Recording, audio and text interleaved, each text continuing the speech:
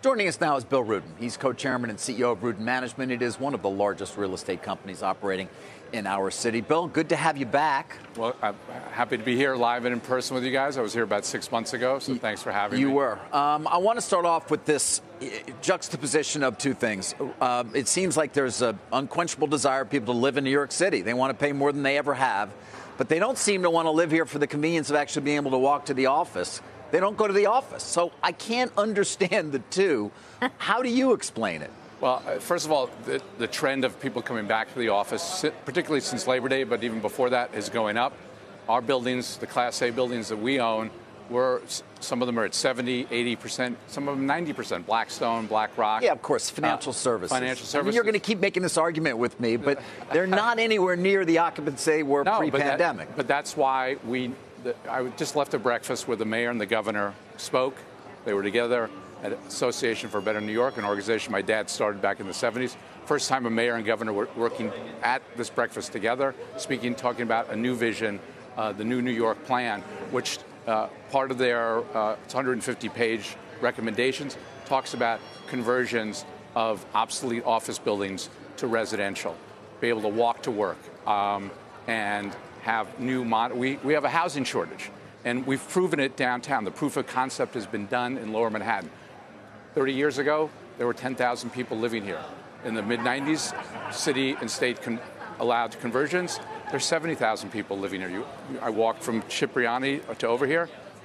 No doubt. Their kids. But I still wonder how do you, in your mind, in other words, again, uh, rents have never been higher, so clearly there's demand. For whatever reason, people want to live here. But are you surprised that so few of them seem interested in going to the office every day? Well, I think that again, as I said before, it's the trend is changing. We've just made a had a huge announcement with Citadel and our partners at. I uh, want to talk to you about at, that at, Vornado to to create a, a million seven hundred thousand foot building in Midtown, two blocks away from where J.P. Morgan's building their new world headquarters, will have 50,000 employees, and they want to have all their employees together.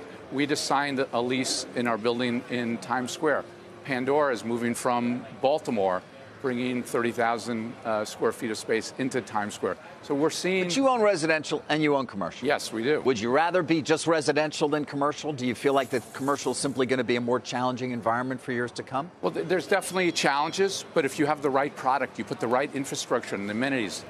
CEOs tell us that to get their employees back, you have to have the wellness, you have to have the food, you have to have uh, the you know the sustainable components. Right. So that those are all key components to getting people back, and we're seeing people respond.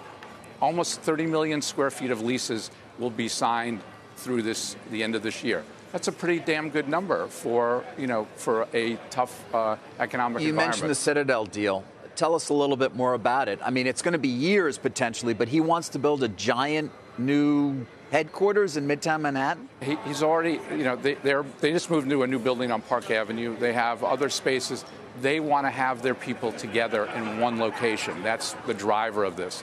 And to be able to design a building from the start and, uh, you know, put all the components in that are critical for their future, their growth in the city, which continues to seem pretty substantial.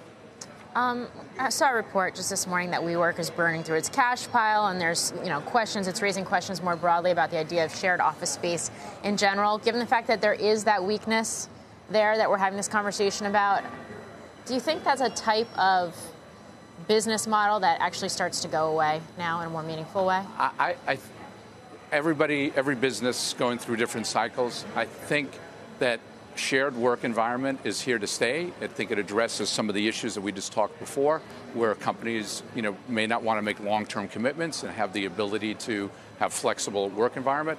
And they're doing what companies do when, when the economy slows down. They, they try to re, reimagine themselves. I personally think that the, WeWork and those type of companies are here to stay. Will they be as large as they were? Probably not. Uh, and it depends on the economy. If you ask the CEO of WeWork, in Europe and other parts of the country, they're at 70, 80, 90% occupancy.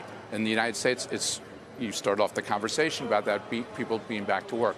But that's why you have to create the right environment and uh, the culture of a company, the collaboration, the connectivity is so critical, to, I think, for companies to grow.